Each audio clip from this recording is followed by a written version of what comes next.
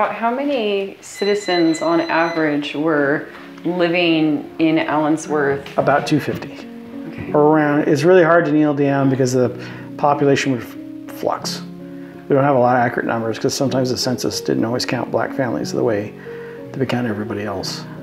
But also, um, there were people moving in and out of the community all the time. I don't think it ever exceeded more than 400 people, even at its height, but about 250, roughly. And what were the property laws like then for? Well, for here, families? because they bought the property through the Pacific Farming Company, there were no uh, covenant or deed restrictions on the property. The and that's one of those little what's the way hidden ways that racists in California would prevent land to be transferred to people of color is they would put in uh, in uh, the deed covenant restrictions that say that you could not sell to a person of color. And eventually they got rid of those restrictive covenants. But that was like 1950s. Yeah. Here they didn't have those because the property had been sold from the Pacific Farming Company to the California Home Promoting Association, which was an, an I don't want to say nonprofit, but a corporation formed by Allen Allensworth, Professor Payne, and six other gentlemen that, that started the colony, right? And you have to remember in America right now, at this time period in 1908, there's all of these utopian um, town movements going on in America. So there's this idea that if we set up things right, we can have this utopia where it's just us, just people uh, of like mind, of like, you know, whatever, uh, and then we can eliminate all the negative and we could rise above and that was kind of the colonel's idea is like why should anyone trust us if we can't show people that we're perfectly capable of founding and running a town on our own? And that was the con his concept. It's like if you're not going to let us integrate we're going to segregate ourselves and do it by ourselves right? And we're going to show you that we can do this wonderful town. And the, this is where he comes into conflict with the black community in Northern California out of San Francisco and the black community in Los Angeles. Were kind of at odds with one another saying because most of the colonel's people were coming from Southern California, although a lot of settlers did come from Alameda and all that. Should we take the W.B. Du Bois position or the Booker T. Washington position? That is, should we force integration by force, or should we show people that we're capable of doing everything on our own and then they have to accept us? Right? So the colonel was following in those footsteps of Booker T. Washington, which is why he started the Tuskegee Institute saying, okay, you're not going to let us play with you, we're going to do our, our own thing and we're going to show you we're even better at it. Okay. So, yeah, where W. Du Bois was saying, no, we need to force integration, we need to force it now. Right. Uh, but through protests and marches and all this kind of stuff, and, and there are others like, eh, maybe not. And he goes on, he carries that position, although he changes his position throughout his lifetime several times. Uh, I think the colonel's approach was probably the, the better one because, like I said, the colonel was highly respected. He was highly successful. He was the only one at the uh, 1905. He was the only African American there to represent the government, the U.S. government. Frederick Douglass was there, but he was representing the government of Colombia, right? So he'd done a lot of wonderful things, and he was the mover, the shaker behind this entire concept of this town, right? Uh, although Professor Payne and the other men all played an important role in it. I don't want to diminish what they did. But he was the guy with the political connections because he was an elector in the Electoral College of Elections for James Garfield when he was elected president. So he was a Republican elector. So he had some clout, right? In 1912, 1913, right in that time period, he led uh, a bid to build a black college here, a black techni- uh, polytechnical college, and to make it truly that Tuskegee of the West. That bill was stymied in the California legislature legislature. When he died in 1914, that bill disappeared. Boom. Dead. Because he was the guy behind it and he was the one who was pushing it. And he had all the connections and all that. Now, people talk about the demise of the town, and that is a kind of a difficult subject because really what happens is there are a period of events that happen over a period of about 18 months that caused that town to decline and it just never fully recovered. There were still people living here until the 1970s right? So it's the town that kind of refused to die. It didn't really go away, but the vision died kind of with the colonel. So 1912, 1913, they, they moved the rail spur. There was the commercial stop. If you look across from us, you can see the rail car. Up on the top of that berm, there would have been two rail cars. One was a ticket office, one was a shipping office. and that made Allensworth a commercial rail stop. So they would load grain. There was two warehouses over there that had grain. And at the time, the valley's major crop was not citrus, it was grain, right? And so the average worker was making about $5 a day loading grain. Stevedore work, right? Um, because it couldn't be done by machines. That's $5 a day versus $12 a week, which was the average wage. So money was coming into the town. Local farmers and some other corporate interests decided, you know what, we need a spur line to Alpaugh so we can bypass Allensworth. I'm sure it had race, some, race had something to do with it, but also profit margin too, because they were loading sugar beets over in Alpaugh, and sugar beets was a huge part of producing sugar, right? That makes sense. And they're competing with the sugar now that's coming in from Cuba and Hawaii. Cuba, after the Spanish-American War, are now growing sugar sugarcane. Sugarcane is easier to process than sugar beets, right? So that ends that commercial output. So they no longer have outside cash coming into the community. So now you, you still have people stopping on the rail line, but not like they were, right? And remember, in a rail line at the time, you didn't buy a ticket from Seattle to Washington. You bought a ticket for a thousand miles. Every hundred miles they come along, punch your ticket. So you could get on and off the train anytime you wanted to, and then just get back on. Here's my ticket. You know, oh yeah, I got 500 miles left. You know, it's kind of a neat way to travel because you get on and off wherever you wanted. So they did have some people stopping and using the, the hotel or the bakery or, or even this place. So you have that happen. That's around 1913. 1912, you have drought through uh, 12 and 13. 1914, the colonel's killed in Monrovia, California. As he gets off the streetcar, he's struck by motorcyclists. He's knocked down. Now, there's differing reports. Some say they backed over him again. Some say they just ran over him and left. Don't know. I personally think it had something to do with the water rights. It was kind of sending a message. I don't think they intended to kill him. I think they intended to rough him up, but that's that's my read of it. And it had to do with the water rights. Because right around 1913, Allensworth Water Company loses they lose the rights to their own water. They fail to pay their taxes on time. So another company comes in, buys it out from under. There's a lot of negotiation going back and forth. They agreed on a sum and they eventually got those water rights back. In 1914, the colonel's killed. Now, you can't talk about California politics without talking about water. Right. It all revolves around water, even back then. Because remember, this is saying about the same time period that Los Angeles is growing and they need water, right? Right. And that's when they start stealing, I mean, appropriating water from the Imperial Valley, Mulholland. Mulholland, and all those guys. Roughly the same time, not exactly, but roughly. Colonel dies, 1914. And around the same time period, they lose the bid to build the Black College. Part of the rationale was there was a 1912 Supreme Court decision in California saying you cannot have segregated schools in California. So if you're going to build a Black College, you can't do that. Kills the bill. Right? So you have all those things happen right around the same time period. Now the town's left without a leader. There's some people that you know tried to lead. Mr. Uh, Dotson, uh, Mr. Overr, um, big time business guys within the community, but they're not as charismatic as the colonel. And they're not as educated.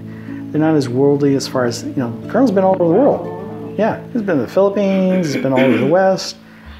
He's got the connections, and then he's got that um, that gravitas, uh, emotional maturity, but also uh, uh, professional maturity that the others just don't have.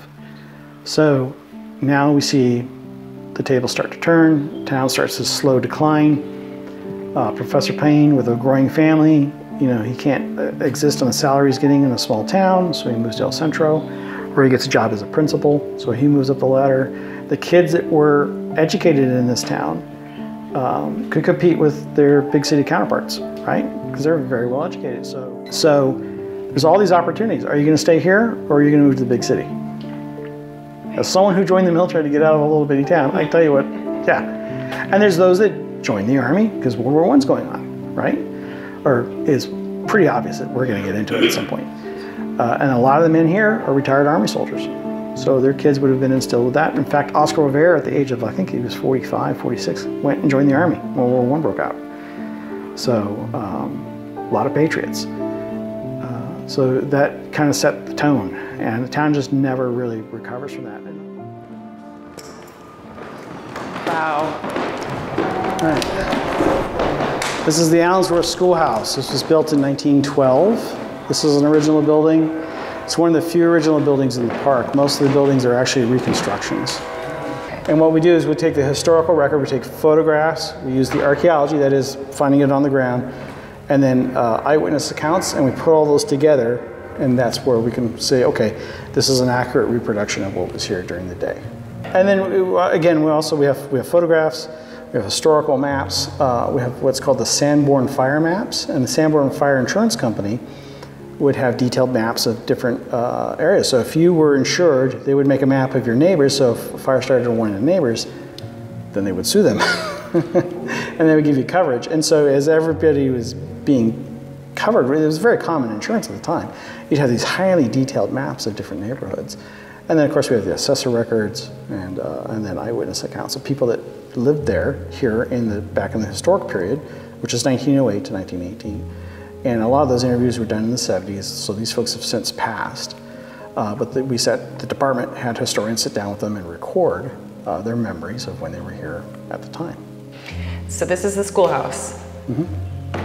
And Again, you said 1908 to 1918 was?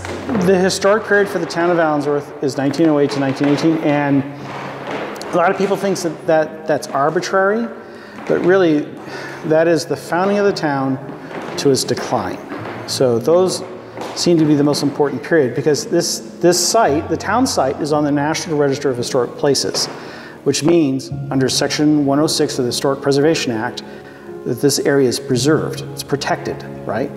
And one of the criteria in order to explain, like a historian to historian, you know, you can say why it's important, but for a historian to tell a politician why it's important, you have to have some definitions. Right. So we define that as 1908 to 1918 as the crucial historic period when it had the most influence on the nation and the region. Uh, and so that's what we interpret. That's the town founding to its town's demise. By 1918, the cast had already been uh, filled and the town was on its decline, although there were people still living here until 1977. Excuse me, 73, okay. when the park became a park. The last class to graduate from the school was in 77. Wow. Yeah. Wow. And this right. is a classic two room schoolhouse. You know, kindergarten through third grade on one side, all other grades on the other. Uh, the primary teacher here was Professor William Payne. A wonderful man by all accounts. He never gave up on a student. If you weren't learning from him the way he was teaching, he would adjust the way he would teach. He would teach practical mathematics, right? So a quart, and a, a, gallon and that sort of thing. You know, kids right now run away from word problems, but back then that was a way to instill critical learning. Uh, and you teach, you know, measurements by quart, bushel, gallons, all that kind of good stuff. You would teach basic agriculture, black history as well as American history, uh, mathematics, literature, mythology. Uh, and the kids that went here got a classical education in the fact that they learned the Greek myths, uh, uh, American history. They learned uh, some basic engineering, mathematics, how to run a farm, how to run a checkbook, that type of thing, how to keep a ledger. You know, some of the things that we probably should still be teaching. And that is something we get away from here. And the colonel was a big proponent of education wherever he went in the Army. You know, he uh, started in the Army in 1884 and retired in 1906. When he retired, and we're going to talk more about the colonel in depth later, Wherever he went in the Army, he would start a school. First grade for privates, second grade for corporals, third grade for sergeants. And the basis of that was everyone needed to know how to read and write. Everyone needed to, how to know how to do basic arithmetic. You know, if you're free your mind, your body will follow, type of thing. Right.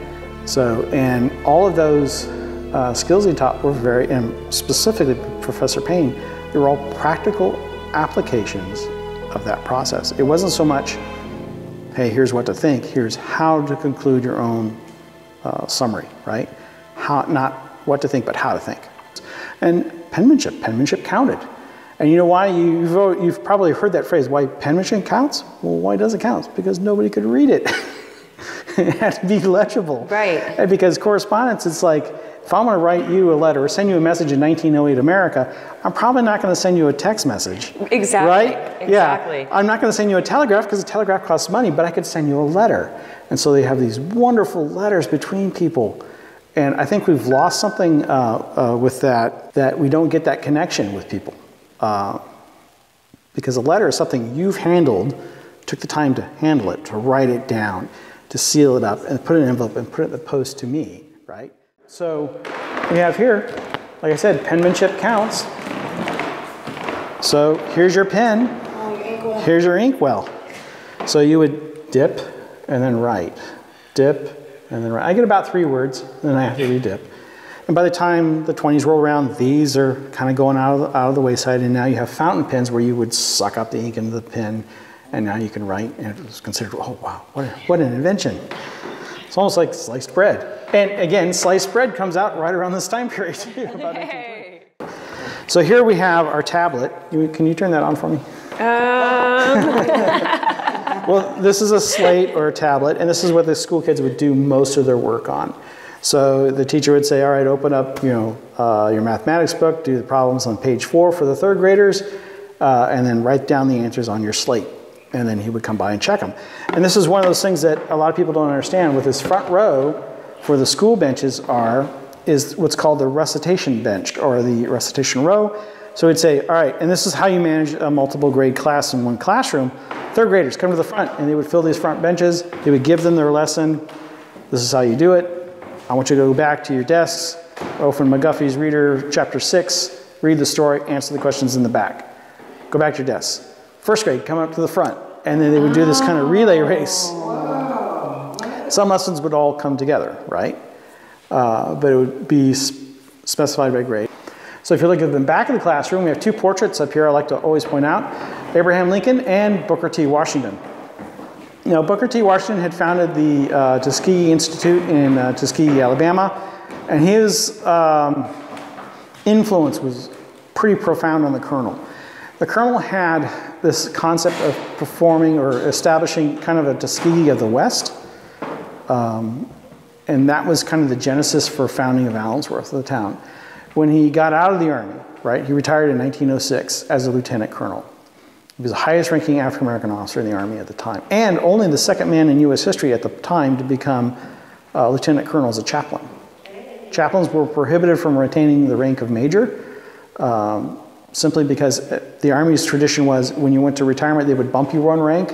So he probably only wore his colonel rank maybe once or twice before he actually got out. And you would take that higher rank in your retirement, and that would be for your pension. So uh, a lieutenant colonel is considered kind of part of the aristocracy, and that's a holdover from the Civil War, which the colonel was a uh, veteran of the Civil War. And we'll get more into that when we get to his home. Um, so that's why chaplains were prohibited from that. It was considered a command or a flag rank. And chaplains, you know, they're non-combatants. Right. Right. And in fact, having even having a chaplain in uniform was fairly new idea, right? Because during the Civil War they had chaplains, but they were civilians that came along with a regiment. They weren't actually serving part of the regiment. Right. All right, where, where are we going next? Well, let's go to the colonel's house. Let's go to the colonel's house.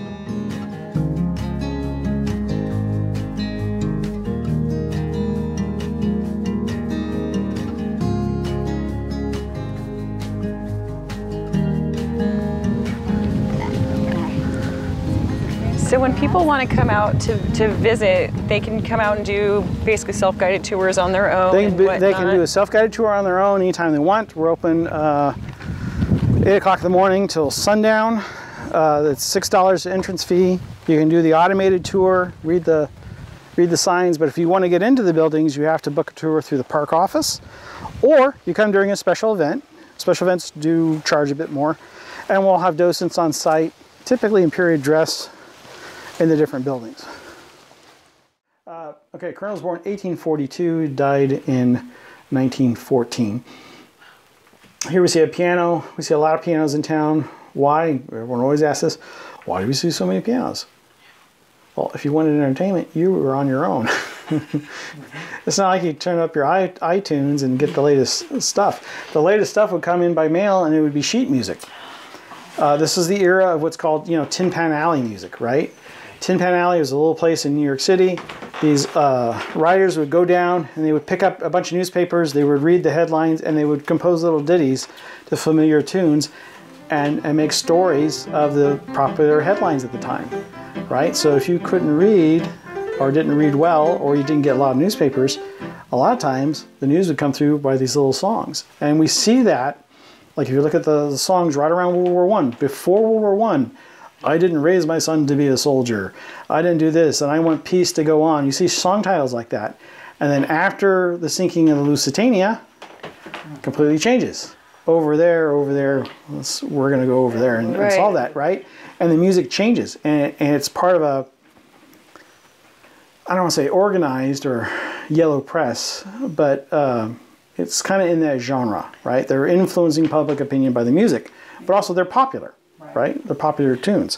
And so most everybody had some way of expressing that. Uh, here we see pictures of the uh, colonel's daughters, Nella and Eva. Eva or Nella. Yeah, Eva and Nella. I always get confused.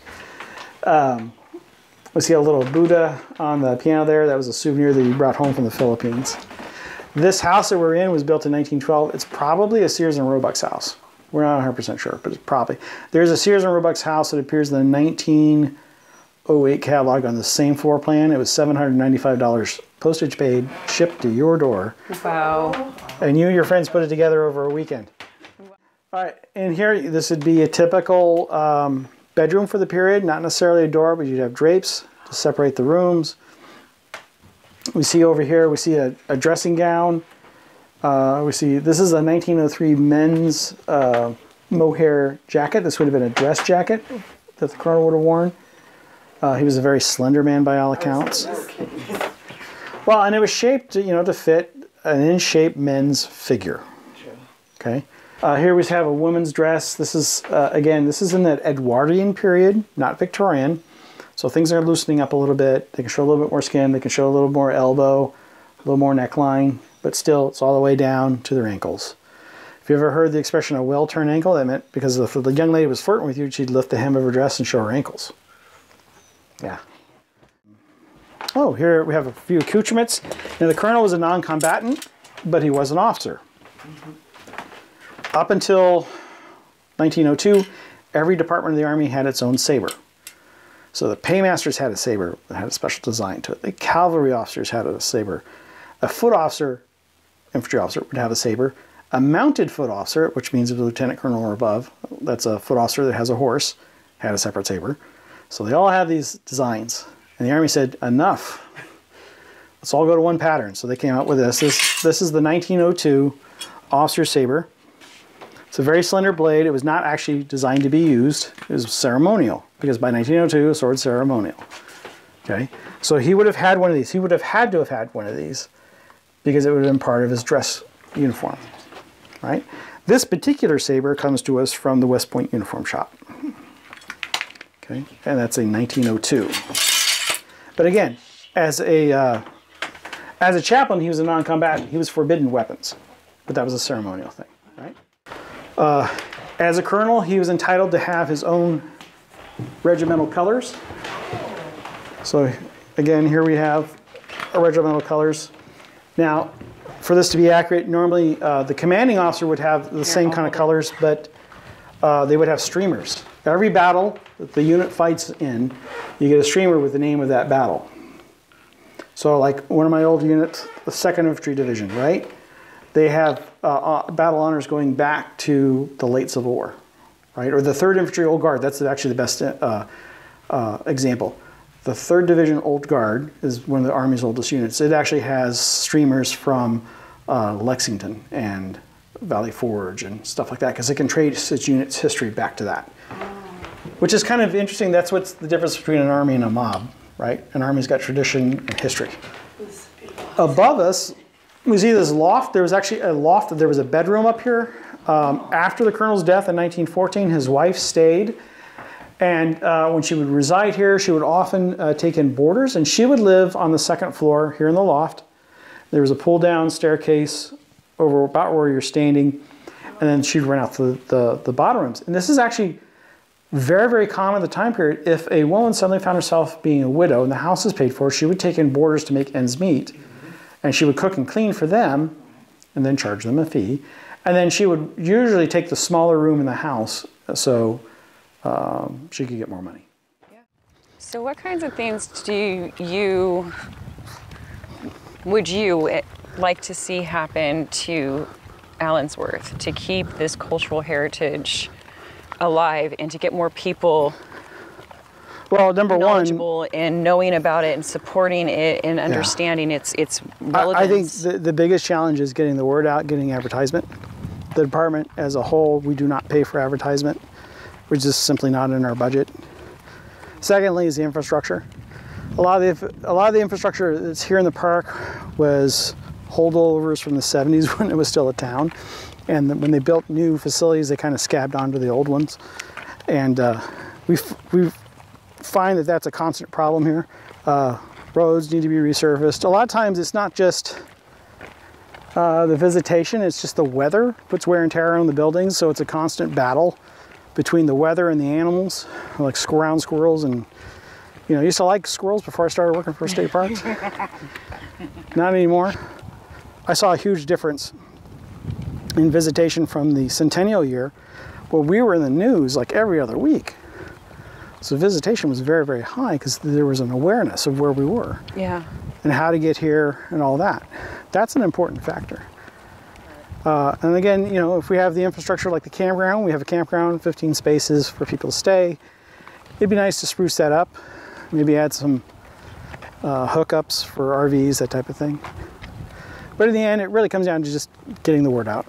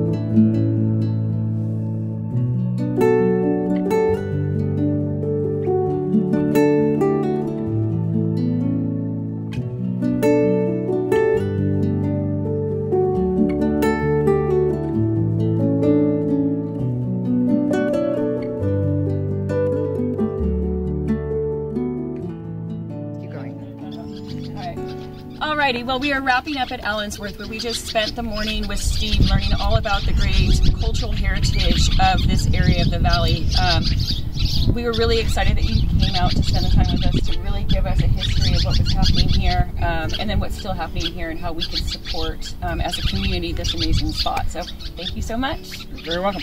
Goodbye, friends. We'll see you next time.